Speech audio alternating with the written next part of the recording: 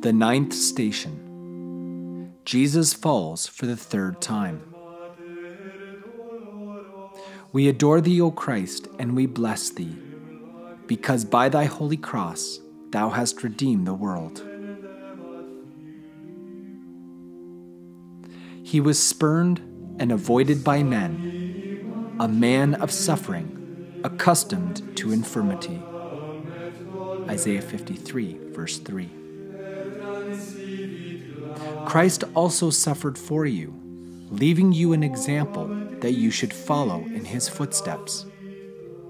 He himself bore our sins in his body upon the cross, so that free from sin, we might live for righteousness. 1 Peter chapter 2, verse 21 to 24.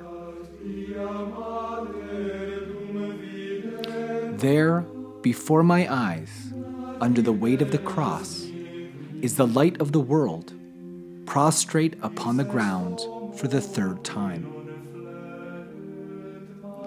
What value was there in the Cyrenian carrying the cross?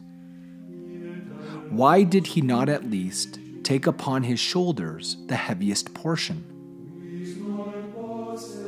If the soldiers forced the Cyrenian, they must have recognized the exhausted state of their victim. Why did they order Jesus to continue?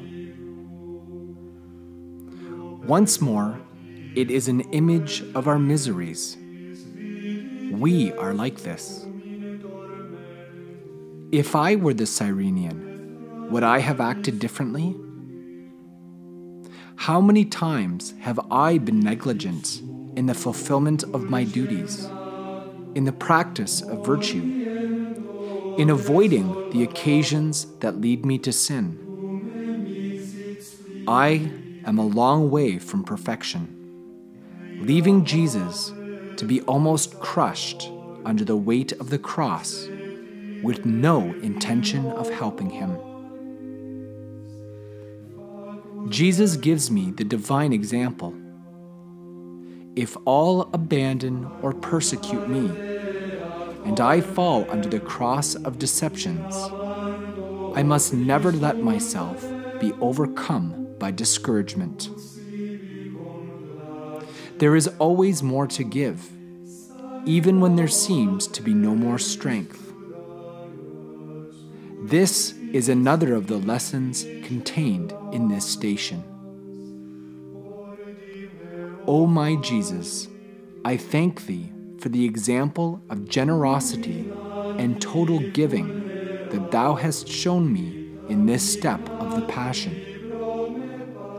I beseech of Thee efficacious graces to continuously serve Thee with disinterested love and great enthusiasm. Our Father, who art in heaven, hallowed be thy name. Thy kingdom come, thy will be done on earth as it is in heaven. Give us this day our daily bread, and forgive us our trespasses, as we forgive those who trespass against us. And lead us not into temptation, but deliver us from evil. Amen. Hail Mary, full of grace, the Lord is with thee.